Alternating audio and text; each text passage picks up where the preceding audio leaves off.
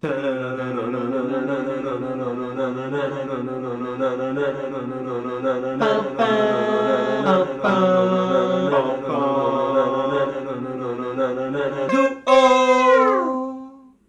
everyone!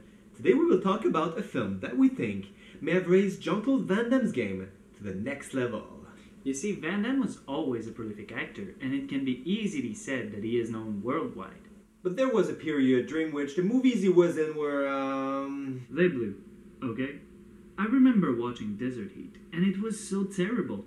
I was sadly afraid of watching any other new Van Damme afterward. Enough about that. Let's talk about the movie. We happily present to you the Wake of Death review. Wake of Death was released in 2004. It stars JCVD and was directed by Philippe Martinez. The script, while being simple, was overall well written and revolves around Van Damme avenging his family's death. So if a lot of Van Damme's movies are recognizable mainly for his brand of action, this is one of the first we saw that stands out for its cinematography. Indeed, the movie has just started that you know you're in for something different. They established a rhythm that will be used through the rest of the film in the first sequence, and they remain faithful to their formula.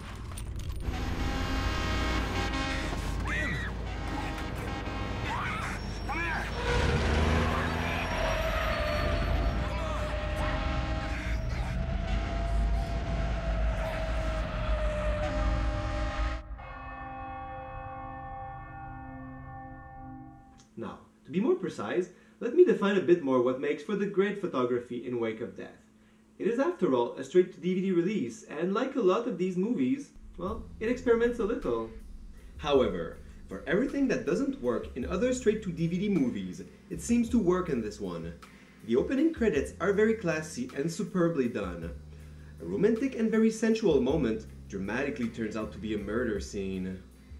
It's also great that they use the credits to show some background story, so they won't have to come back to it later, and they can move on with the film. They use a very expressive photography, often complemented with a warm palette, to create a beautiful aesthetic, similar to this scene here, where the villain Sun Quan practices his forms at twilight. The director had a vision for this movie, and it shows with the end result. Another characteristic is the consistent use of long focals with a tighter focus point. It creates a very crisp image that narrows down the viewer's attention point. It also contributes in creating a sense of intimacy within the scenes. A good example of that would be the moment when Van Damme meets the little girl. The emotional build-up is created by the close-ups and the actor's glances. Speaking of the photography, we also appreciated the different angles used. They were creative in their camera work, always trying to present the scenes with a different approach. When Sun Quan arrives in the States, they use unconventional angles in their shots. It's tasteful and well executed. It also dramatizes the feeling that this character is not coming here to mess around. The shot's variety, in this case, expresses the importance of his arrival in the situation, and how it will exacerbate things. Now, we told you at first that we thought this movie may have raised Van Damme's game to the next level. And there's a reason.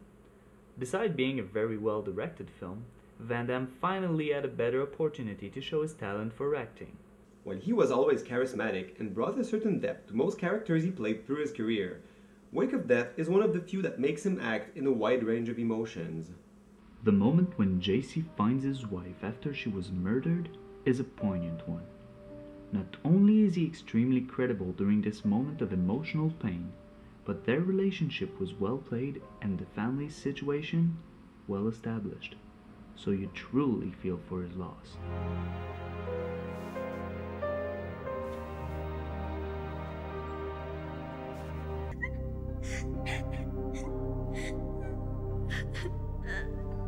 Why did my wife take you here in my house? Stop it. Please, not my fault. Dad?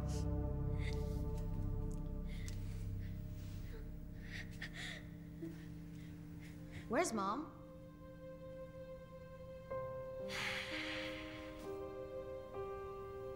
She's dead, baby.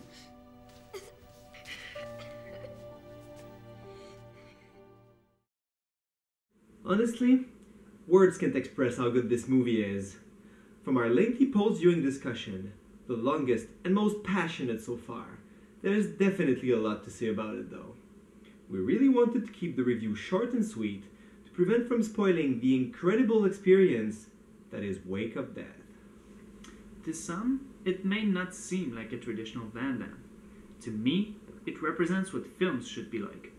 It's faithful to its genre, but with a clear and personal vision from its author. The first time I saw it, it instantly became my favorite Van Damme movie. Well, I must admit I will have to say the same thing during our next review, but still, in the end, after seeing it on numerous occasions, I simply love it, and I hope you will too. Go watch it now.